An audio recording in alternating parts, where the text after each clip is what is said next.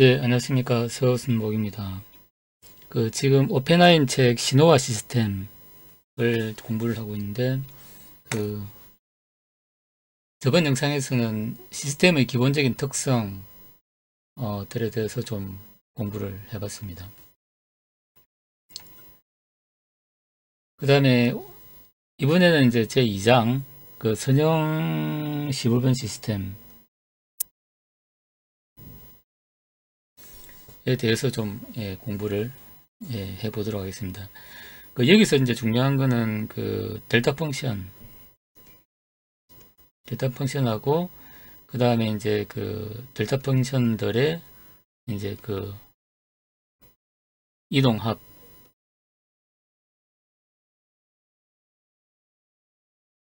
이제 이게 우리가 저기 이제 샘플링 할 때 이제 좀 중요한 거죠. 그 이동 합을 우리는 이제 또 pulse train이라고 얘기도 하고.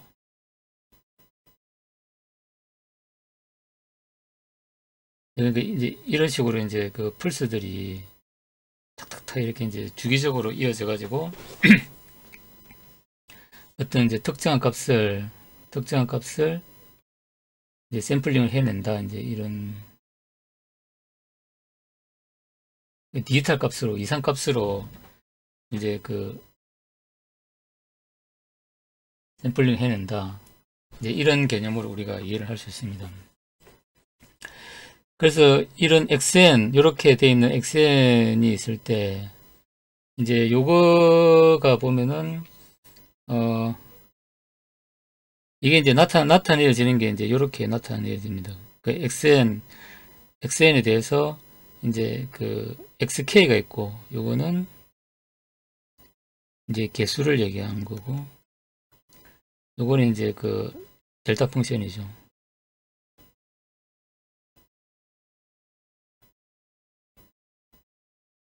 델타 함수의 가장 큰 특징은 뭐냐면 이제 적분하면 1이 된다는 거죠. 이제 적분하면 1이 되고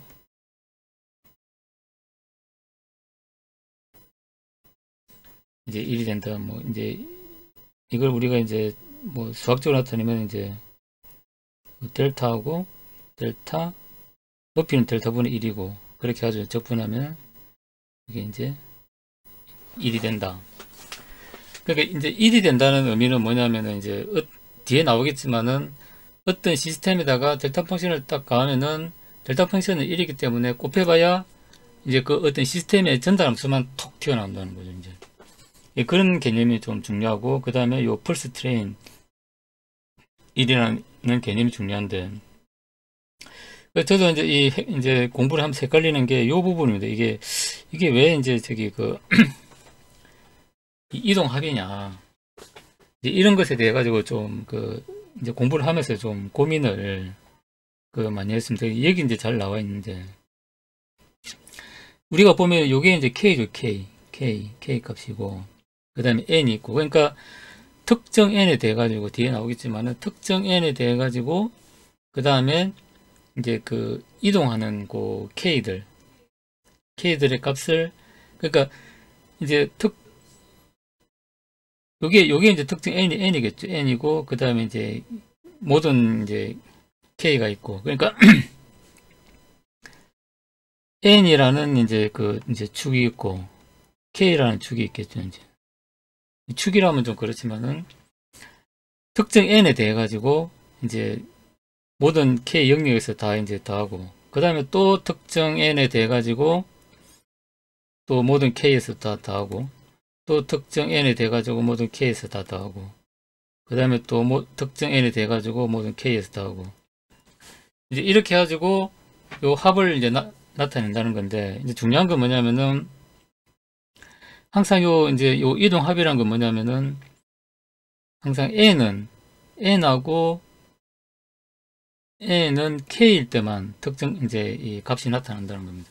나타나고 그 다음에 n을 계속 이제 모든 k에 대해 가지고 n을 바꿔가면서 계속 이렇게 됐을 때 항상 그 n과 k가 같을 때만 값이 나타나고 나머지는 다 제로라는 거죠. 아무리 k, k를 모든 영역에서 하더라도 그렇게 가지고 이제 각각 n에 대해 가지고 모든 k 영역을 다 이제 더하고 그 그럼 하나의 값 나오고 특정 n의 영역에서 모든 k 영역을 다 하더라도 n은 k 때만 값이 나오기 때문에 하나씩 나온다는 거죠. 그 다음에 또 n을 바꿔서 또 모든 k에 대해서 하고 또 n, n을 또 바꿔가지고 모든 k 영역에서 나오고 이렇게 해가지고 쭉 하면은 이제 얘들을 합을 나타내면은 요렇게 해가지고 이제 그 여기가 마이너스 2, 마이너스 2 이제 이렇게 되겠네요.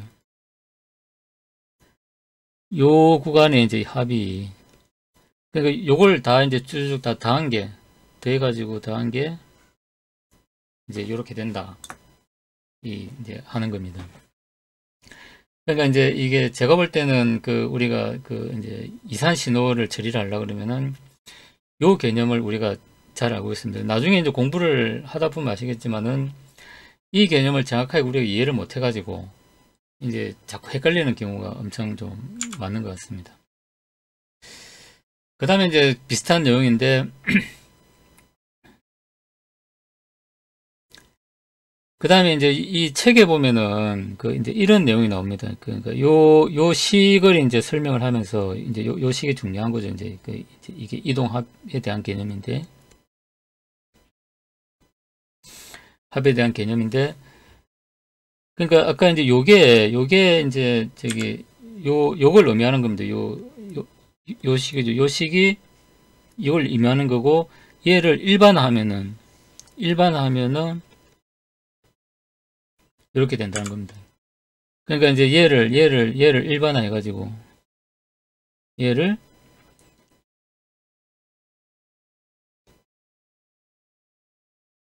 일반화하면 이제 이렇게 된다는 거고 이제 이런 게 우리가 이해가 돼야 이제 컨볼루션의 합이라는 개념을 우리가 좀 잘 이해를 할 수 있다는 거죠. 그래서 이제 항상 얘기했지만은 이제 그 모든 k에 대해 가지고 이제 n은 k일 때 그때 이제 그 어 이제 n의 값이 나오고 그 n들 모두 이제 합한 거그 n들 모두 합, 합한 것이 이제 요 일반화된 요 식으로 나타난다는 거고 그게 이제 그 요 이제 여기서 이제 설명하는 말입니다. 그중 근데 여기에 보면 이제 시간 배율된 것들의 시간 배율된이라는 요 말이 나옵니다. 그래 이게 이제 어떤 의미일까? 어떤 의미일까 좀 가만히 좀 생각해 봤는데 그 이제 시간 배울된 음, 이란 의미를 이 책에서는 뭐 특별하게 그 이제 별도로 설명을 하지는 않습니다. 그 이제 뭐 다른 이제 여러 이제 저 이제 내용들을 통해서 이거는 이제 충분히 이해를 할 거라고 이제 뭐 아마 저자는 생각을 한 것 같은데 이제 이 저같이 이제 디지털 초보인 사람들 같은 경우는 좀 이게 좀 상, 상당히 좀 약간 어렵습니다. 그러니까 이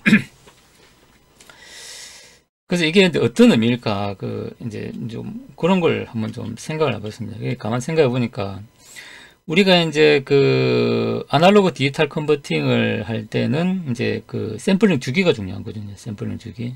샘플 주기를 얼마나 빠르게 하느냐, 느리게 하느냐, 그게 중요한 거고.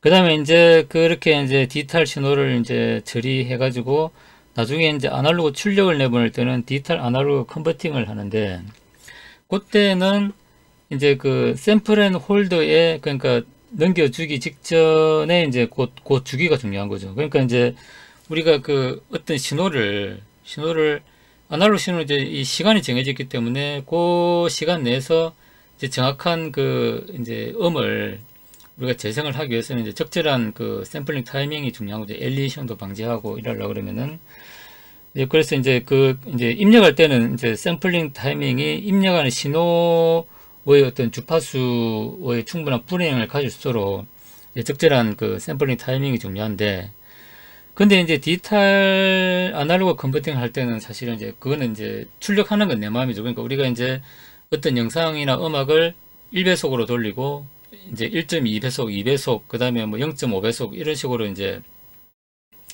돌리는 거는 이제 요때 결정이 되는 거죠. 이제 내가 이제 그 이 천 개 데이터가 있, 다 그러면 그러니까 이제 천 개 데이터를 이제 그 샘플링 이제 AD AD 컨버팅을 할 때는 뭐 0.1초 간격으로 해가지고 이제 뭐 천 개를 만들었는데 얘를 내가 이제 출력할 때는 뭐 저기 0.5초 간격으로도 할 수 있고 1000개 데이터를 그 다음에 0.05초 간격으로 해가지고 빠르게 또 이렇게 출력할 수도 있겠죠. 이제 그러면 이제 빠르게 출력하면은 빼빼빼빼 뭐 이제 이런 소리가 날 거고 그 다음에 이제 뭐 저기 좀 느리게 출력하면은 웅 이런 소리가 나겠죠. 이제 그래서 여기서 이제 제가 볼 때는 시간 배율된 중첩의 합이라는 의미는 요 이제 그 일단 디지털 신호로 바뀌고 나면은 이제 그 샘플링 타임이나 그 다음에 이제 그 이 내가 이제 어떤 출력을 하기 위한 어떤 그 샘플의 홀드에 주는 출력 주기는 이제 디지털 신호 처리하는 동안에는 크게 관계가 없다는 거죠.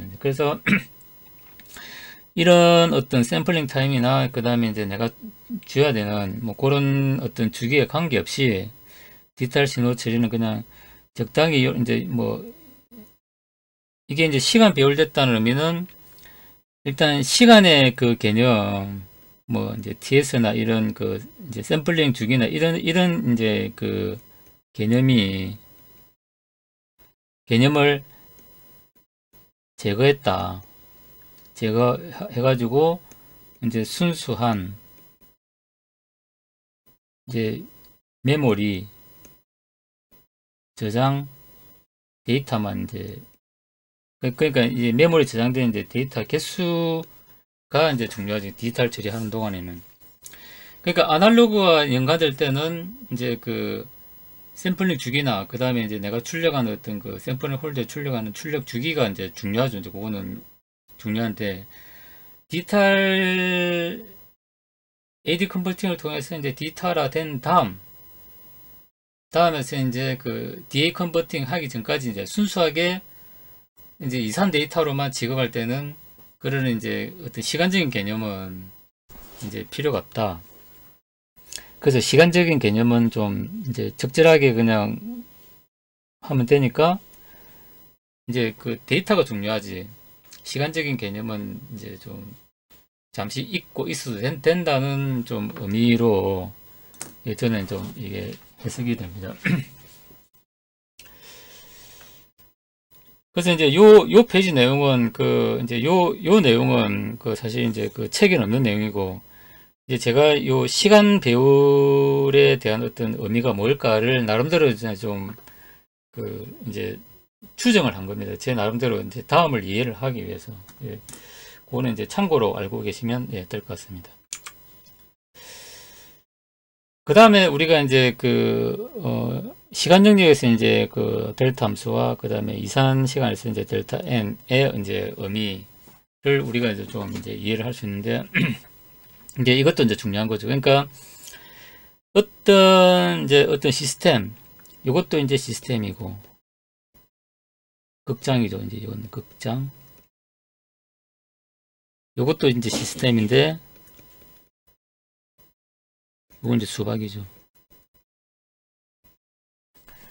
그래서 이제 수박이 잘 익었는가 보려 그러면은 한번 통 치면 이제 둥 하고 울리겠죠. 그러면 이제 좀 이제 음이 이제 좀 깨끗하게 들리면 아 잘 익었다. 탁탁 이러면 이제 아 좀 이제 덜 익었다. 뭐 이렇게 판단하는 거죠. 그 다음에 극장도 마찬가지입니다. 극장을 잘 지어 놓고 이제 그 다음에 이 음악 소리들이 이제 관중석한테 잘 이렇게 이제 잘 퍼지는지를 이제 그, 그 이제 알아보려 그러면은 뭐 어렵게 할 필요 없이 그냥 피아노 건반만 하나 한 번 땅 치면은 이제 그 소리가 전체적으로 퍼져가지고 이제 요 그 이 극장이 갖고 있는 어떤 시스템의 전달 함수들이 이렇게 이제 이제 울림을 줍니다. 그러니까 이게 전달 함수를 딱 이렇게 주면은 수박 같은 경우는 이제 둥 이런, 이런 식으로 나올 거고 그 다음에 이제 극장도 마찬가지죠. 극장도 이제 이 건반 한번 땅 쳐주면은 이제 등 해가지고 이제 뭐 이제 이런 식으로 이제 그 울림이 나올 겁니다. 그래서 한, 한 번에 풀세 돼 가지고 한 번에 풀세 돼 가지고 이제 어떤 시스템은 이제 그 이산 데이터라면은 이제 뭐 이런 식의 이제 그 이제 전달 함수 이건 델타 n이 이산 데이터 할 경우는 요거는 이제 hn이 될 겁니다. 그러니까 한 번에 어떤 풀스에 대해 가지고 이제 그 어떤 시스템이 갖고 있는 갖고 있는 그 시스템의 이제 고유 특성인 전달 함수가 나온다 하는 거죠. 그래서 이 우리 이제 이 델타 함수 같은 경우는 어떤 시스템의 특성을 알아내는데 상당히 유용하다는 거고 이제 이런 개념을 수학적으로 이제 그 한 사람도 참 대단하다는 생각을 합니다. 그러니까 이런 이제 우리가 이런 피아노를 친다든지 수학을 또 이제 치면 알 수 있다는 거는 아주 옛날 사람들도 다 알고는 있었겠죠. 근데 얘를 과연 수학적으로 어떻게 이제 표현할 거냐 하는 건 상당히 좀 이제 막막했을 겁니다.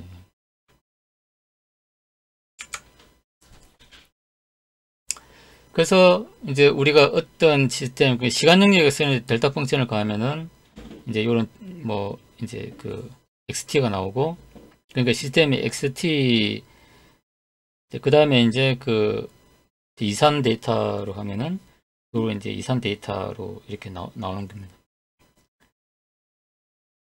그러니까 이게 이제 이 입력일 때, 입력일 때 이럴 수 있다는 거죠, 입력. 이것도 입력. 그렇게 해가지고, 이제 그 XT가 이제 이렇게 이제 시스템에 가해지겠죠, 이제. 그 다음에 이제 우리가 이제 얘는 이제 시스템이죠. 시스템. 아까는 이제 XT는 입력이라고 보면은 얘는 이제 시스템인데, 이제 시스템일 때도 마찬가지. 시스템일 때도 이제 그 어떤 델타 펑션을 딱 하면은 이제 연속은 이렇게 나오고 그 다음에 이산 데이터는 이렇게 나온다 하는 거하고 그 다음에 이제 아까 입력하고 입력하고 이제 입력이 이제 델타 펑션하고 xt하고 이렇게 이제 했을 때 가해졌을 때 이제 그 요, 요 비교해 보면 이제 이게 이제 xt만큼 이제 이게 xn이 가해지면 이렇게 이제 올라간다는 걸 알 수 있는 거죠. 이제.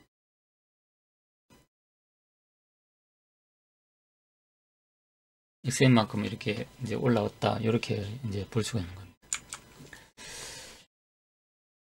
그래서 이제 이 이제 이번 장은 이 convolution까지는 가지는 않을 건데 이제 convolution의 개념을 우리가 이해를 하기 위해서 이제 이제 어떤 기초적인 내용을 좀 이제 공부를 하고 있다 이렇게 보시면 될 것 같습니다. 그 다음에 이제 우리가 어떤 이제 xn 요거 이제 입력이죠 입력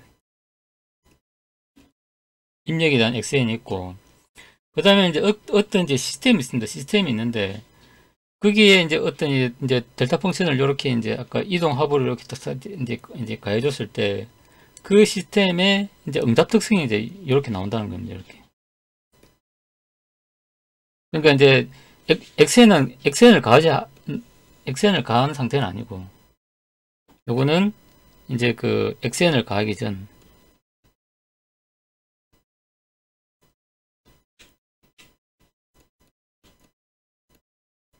저는 이제 각 이제 그 템의 이제 고유 응답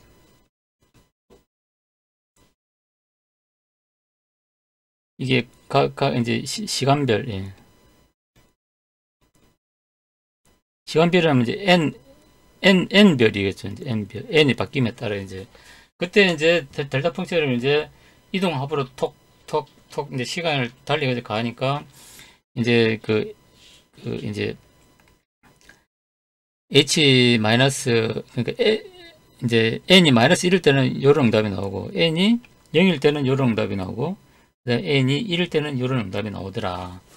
라는 거고, 걔를 이제 그 일반화 시키면은, 이제 요런 결과를 얻을 수 있다.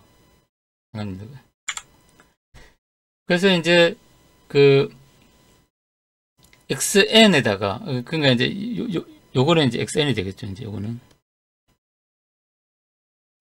Xn에다가 그 다음에 이제 그 xn을 hn에다가 가하니까. 이렇게 시스템이 있는데 이렇게 이제 이제 가하니까 이제 그 이제 각 그 별로 이렇게 결과가 나오더라는 얘기죠 이제. 그러니까 이게 k가 마이너스 1일 때는 이제 요게 나오고 그러니까 K가 마이너스일 때 모든 N에 돼가지고 이제 요 결과가 나왔고, 그 다음에 K가 이제 제로일 때 모든 N에 돼가지고 요 결과가 나왔고, 그 다음에 이제 K가 1, K가 1일 때, 이제 그 1일 때 모든 N에 대해서 요 결과 나왔고, 그 다음에 K가 이제 저기 나와서 이제 얘를 다 더하면은 아까 이제 요, 요 이게 이제 K는 마이너스 1일 때 K는 0일 때 이제 모든 N. 그 다음에 K는 1일 때. 그래서 요는 이제 K는 마이너스 1에서 1까지 이제 다 합산을 해보니까 이제 요런 결과가 나오더라. 이제 그 예, 라는 겁니다 그래서 이제 우리가 여기서 이제 알 수 있는 거는 그 이게 그 이제 우리가 이해를 해야 되는 거는 델타 펑션이 이동을 하는 거지 그 xn이나 hn이 이동을 하는 건 아닙니다. 그러니까 이제 항상 이제 얘기해야 되는 건 이게 우리가 이제 저기 그 이동 합이라는 거는 요 델타 n이 델타 n이 이제 k가 하나씩 바뀌면서 이제 이동을 한다. 이런 이 이제 이런 개념이죠. 이 델타 n이 이제 쭉쭉 가면서 k는 n일 때만 값을 내더라. 이제 요런 개념을 우리가 좀 잘 이해를 해야 될 것 같습니다. 이제 그렇게 하고 이제 그 다음에 이제 이제 여기서 이제 아주 기초적인 이제 컨볼루션 개념이 이제 나옵니다. 그래서 항상 그러니까 K를 K에 대해서 보면은 K에 대해서 보면은 특정 K에 대해 가지고 이제 그 모든 N 이제 이렇게 볼 수 있고 그 다음에 특정 N에 대해서 이제 모든 K 이제 요 요렇게 이제 우리가 저기 이해를 하면 됩니다. 그러니까 이제 특정 K를 중심으로 보면은 이제 특, K가 마이너스 1, 0, 1로 바뀐다 그러면은 이제 마이너스 1일 때 이제 전체 N에 대해서 이제 다 썸을 하고, 그 다음에 0일, K는 0일 때 모든 N에 대해서 하고, 그 다음에 뭐 그렇게 이제 해가지고 전체 썸을 다 구하고, 구하고, 이게 마찬가지로. 반대로 이제 그 특정 N에 대해서, 특정 N에 대해서 이제 할 때, N은 마이너스 1일 때 모든 K에 대해서 다 하고, 그 다음에 N은 0일 때 모든 K에서 다 하고, 그 다음에 N은 이제 1일 때 모든 K에서 돼가지고 또 합을 구하고 그 그런 게 이게 이제 결국은 똑같다는 겁니다. 또. 그래서 이제 이 그래서 이 convolution 개념이 이제 나오는 거죠.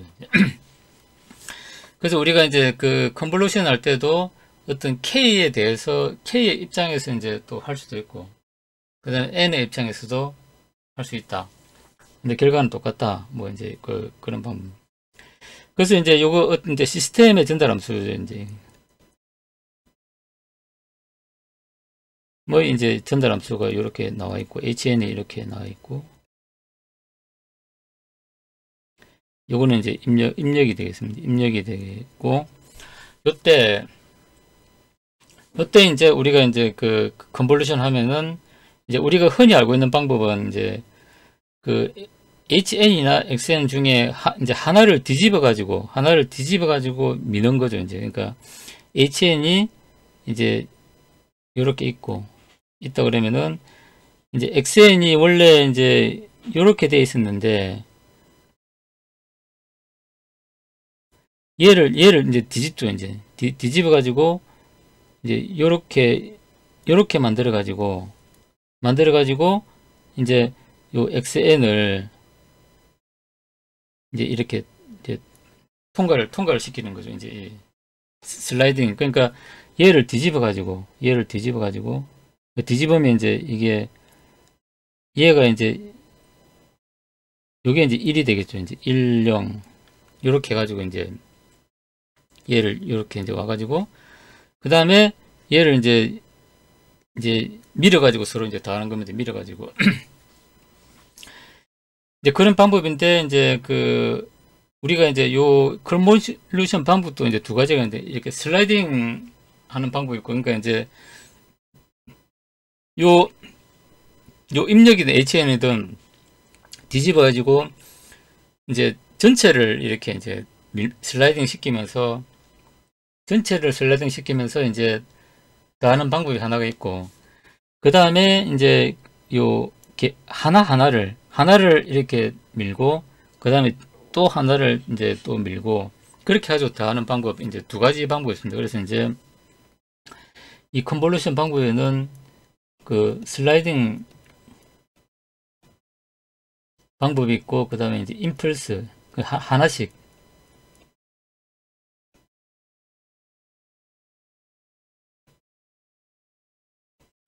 임펄스 막 슬라이딩 방식 두 가지가 있다. 그래서 이제 자세히 보면은 뭐 이제 이게 임펄스 방식일 때는 이제 요, 요게 이제 이 K가 되고 슬라이딩 방식일 때는 아 슬라이딩 아 임펄스 방식일 때는 요게 이제 N에 대해서 이제 표현이 되고 그다음에 임펄스 방식에 대해서는 여기 N이 되고 슬라이딩 방식에 대해서는 이제 요 여기 이제 그 이 축이 이제 그 K로 표현된다. 이게 또 약간 좀 다른 점입니다. 그래서 일단 해보면은 일단 입력을 이제 그 0을 먼저 밀고 이제 이 이건 이제 임펄스 방식에 대해서 설명해 주지 지금 요 요거는 이제 임펄스 방식입니다. 요거는.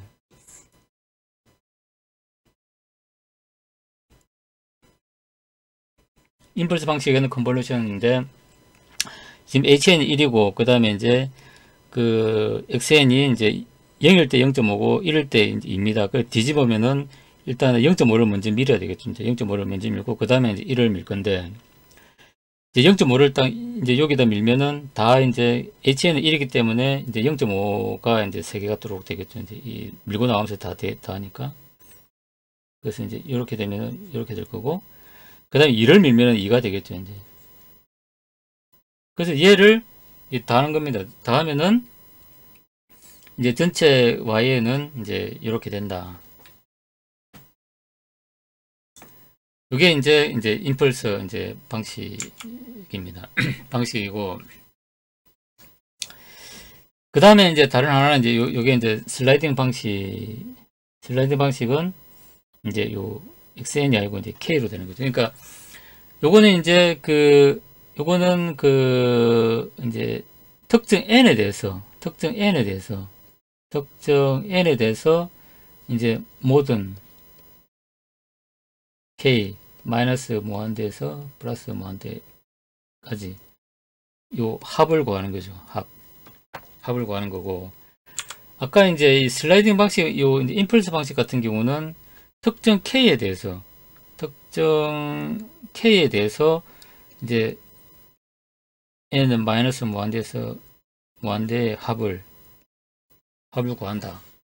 이제 요 이제 요런 개념으로 이제 보시면 될 것 같습니다. 그래서 이제 그 k가 정해졌고 그다음에 n이 이제 그 모든 n을 해야 되니까 이제 요 축이 n이 되는 거고 그 다음에 이제 그, 뭐, 이제 특정 n에 대해서 모든 k에 대해서 합을 구하다 보니까 이제 요 축이 k가 된다. 예, 그렇게 이해를 하시면 될 것 같습니다. 그래서 이제 얘도 마찬가지입니다. 얘는 이제 xn은 고정이고 xn은 고정이고 이제 hn을 이제 뒤집어서 미, 는 겁니다. 그 hn이 원래 이제 여기 이제 0 n n-1 n-2 뭐 요렇게 이제 돼 있었다는 거죠. 이제. 그래서 얘를 이제 뒤집으니까 n n-1 n-2 이렇게 되는 거죠. 그 n으로 표현한 경우는 이제 요 얘가 고정이 되어 있지 않고 얘가 이제 슬라이딩으로 계속 밀고 가야 되기 때문에 이제 이렇게 표현을 한 겁니다. 그래서 여기서 이제 쭉쭉쭉 와가지고 서로 이제 이제 이 곱해가지고 더해지는 게 없으니까 이제 다 0이었겠죠. 이제 0이었는데 얘가 이제 여기 딱 오니까 0.5하고 이제 처음에 마주치는 거죠. 마주치가지고 이제 그래가지고 더하니까 이, 이 이제 이 전체를 더하니까 이제 요 0.5만 값이 나오는 거죠. 그럼 0.5만 값이 나와, 나왔고 그 다음에 이제 한 번 딱 이제 두 개 이동하니까 이제 지금 얘하고 얘가 이제 0.5와 2를 만나게 되는 거죠. 이제 0.2를 만나가지고 2.5가 된다. 그 다음에 얘가 한 번 더 이제 시프트 돼가지고 요렇게 오니까 요렇게 오니까 요 두 개가 이제 0.5와 2를 만나게 되는 거죠. 0.5, 2를 만나가지고 2.5가 됐고, 그 다음에 이제 그 이제 요 위치에 오니까 요 위치에 오니까 이제 얘가 이제 2하고 이거 만나는 거죠. 얘가 2하고 만나가지고 이제 2가 나왔고, 그래서 이제 그 이제 애는 0일 때부터 값이 나온다는 거죠. 애는 1일 때, 그 다음에 애는 2일 때, 애는 3일 때. 이제 요, 요렇게 이제, 그러니까 애는 이제 요, 얘, 얘를 기준으로 따지는 겁니다. 왜냐하면 이제 우리가 요, 맨 첫 번째를 n으로 이제 그, 가정을 했고, 그 다음에 마이너, n-n-1을 했기 때문에. 그렇게 해서 다음에는 이제, n은 0일 때 0.5고, 2.5고, 2.5고, n은 3일 때2.6 이렇게 나온다는 거죠. 그러면은, 요 결과하고, 그게 요게 이제 슬라이딩 방식하고 임펄스 방식의 요 결과하고 이제 같다. 이제 요렇게 되는 겁니다. 그래서 요 두 가지를 우리가 볼 때, 우리가 볼 때 이제 그 어떤 K에 대해서 K를 이제 특정 K에 대해서 모든 N에 대해서 이제 합을 구하, 구하, 구하거나 그 다음에 이제 그 특정 N에 대해서 모든 K에 대해서 이제 합을 구하거나 이제 이런 어떤 개념이 이제 우리가 이제 컨볼루션 적분의 개념이다. 이제 뭐 이렇게 우리가 이해를 할 수가 있는 것 같습니다. 그래서 컨볼루션의 이제 연속 시간에 대해서 이제 이렇게 이제 우리가 나타내는데 이산 시간 같은 경우는 시그마로 이렇게 나타낸다는 거죠. 그래서 요 여기는 타우고 여기 이제 k로 나타낸다. 그 다음에 t는 n으로 나타내진다. 뭐 이렇게 보면 됩니다. 근데 이것도 이제 요거는 이제 그 다른 책에 나와 있는 내용을 좀 가져온 건데 이제 우리가 요 입력 요거 이제 시스템이고 그 다음에 요 입력일 때 이제 그 임펄스 방식이기 때문에 이제 디벼 가지고 디벼 가지고 얘를 얘를 얘, 얘를 이제 뒤, 뒤집은 겁니다. 뒤, 뒤집으면 얘를 뒤집으면 이렇게 되는 거죠. 이렇게 돼 가지고 하나씩 이제 하나씩 밀어간다. 밀어가지고 다 한다. 아까 이제 설명한 거 이제 똑같은 겁니다. 그래, 그렇게 해가지고 하면은 이제 이렇게 나타난다. 이런 거하고 얘를 우리가 이제 그 표로서 이렇게 구할 수도 있습니다. 그래서 이제 그 n에 대한 어떤 그 k 요 n에 대해서 하고 얘는 이제 그렇게 해가지고 이제 우리가 저기 y의 어떤 합을 이렇게 이제 구할 수 있다는 거고 그 다음에 이제 그 슬라이딩 방식이 이제 슬라이딩 방식도 이제 똑같이 이렇게 이제 이렇게 뒤집어 이렇게 뒤집어 뒤집어서 이제 전체를 미는 거 전체를 미는데 얘는 아까처럼 이제 그 전체를 밀면서 이제 그 썸을 구하는 거죠. 그래서 하나씩 하나씩 이렇게 썸을 이렇게 구하는 겁니다. 나타내면은 이제 아까 그 임펄스 방식하고 똑같은 결과가 이제 나온다. 그래서 우리가 표로서도 이제 이런 식으로 구할 수 있다.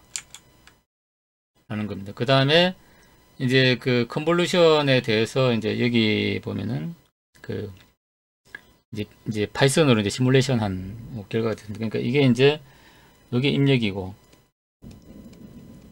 여기 이제 시스템이고 여기 이제 출력이 되겠죠. 그래서 이제 얘를 얘를 여기서 이제 밀 수도 있고 이제 그 다음에 얘를 이제 HN을 뒤집어 가지고 밀 수도 있고 결과는 똑같습니다. 그랬을 때 이제 요런 출력이 나온다. 라는 거 우리가 이제 요, 요 Python 코드로 우리가 이렇게 예, 확인을 할 수가 있습니다. 그래서 이제 오늘 이제 그 그러니까 이장도 이제 이거 말, 이 내용 말고도 이장이 좀 내용이 많습니다. 근데 이제 그 제가 볼 때는 우리가 이제 이 어떤 이제 디지털 시스템을 우리가 이제 저기 제대로 이해하고 제어를 하려 그러면은 이게 이제 그 이동 합의라는 게 뭐냐 이동 합의라는 게 뭐냐 하는 거고 그 다음에 이제 이게 디지털, 그러니까 AD 컨버팅이나 그 다음에 이제 그 DA 컨버팅 이제 사이에 어떤 순수하게 이제 디지털 신호를 다룰 때는 이게 이제 시간 개념은 사실은 이제 없다. 그 데이터 개수가 이제 중요하다. 하는 거. 그거 그러니까 이제 요 이제 플스에 이제 이동하면서 샘플링하는 그런 개념하고 그 다음에 이제 어떤 그 시간의 개념이 이제 디지털로 변환되는 순간 양자화되는 순간 사라진다. 는 거. 하고 그 다음에 이제 델타 펑션은 어떤 시스템의 상태를 이제 우리가 알 수 있는 아주 좋은 그 수학적으로 표현된 아주 좋은 함수다. 수박이나 이제 그 극장의 극장에 있으면 피아노 건반 한번 땅 쳐가지고 그 극장의 어떤 이제 시스템의 전달 함수를 알 수 있는 것과 똑같은 개념이다. 그래서 이제 시스템을 알라 그러면은 델타 펑션을 가하면 된다. 는 거고 그 다음에 이제 입력에 대한 델타 펑션 아 이제 입력이 그러니까 입력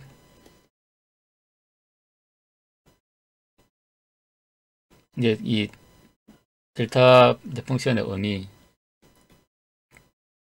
하고 그 다음에 전체 이제 시스템을 이제 알아내는 그 두 개가 합쳐져 가지고 이제 이렇게 된다. 그래서 이제 우리는 그 이제 항상 이제 얘기하지만은 요거는 이제 사실 이제 샘플링의 결과죠. 이제 요, 요거는 그러니까 델타 m-1의 이제 이동 합 샘플링에 의한 이게 샘플링이죠.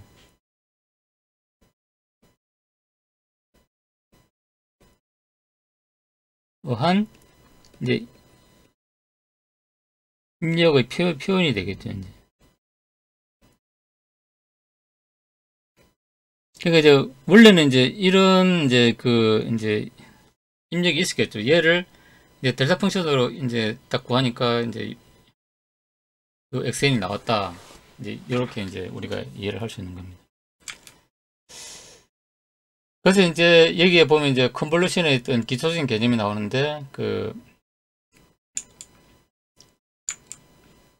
이제 convolution에는 이제 임펄스 방식과 슬라이딩 방식 두 개가 있다. 그러니까 그 있는 게 이제 중요하고 그 다음에 이제 그 임펄스 방식은 임펄스 방식은 이제 특정 K에 대해서 특정 K에 대해서 모든 N 구간의 합을 이제 구하는 거고 그 다음에 슬라이딩 방식은 특정 N에 대해서 특정 N에서 모든 K의 합을 구한다.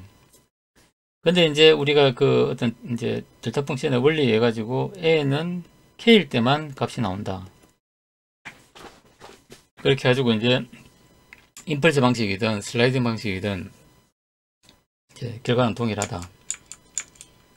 는걸 이제 그 예, 설명을 하고 있습니다. 그래서 이제 이 장은 이제 그 이 장을 완료하려고 그러면 좀 더 하긴 해야 됩니다. 그래서 오늘은 그 이제 그 delta function의 의미, 그 다음에 이제 이동 합의 의미, 그 다음에 이제 convolution의 기본적인 개념, 그 다음에 이제 그 K와 N에 대한 어떤 의미, 이제 그 그런 어떤 이제 convolution에 대한 기본적인 개념을 좀 우리 예, 공부를 예, 해봤습니다.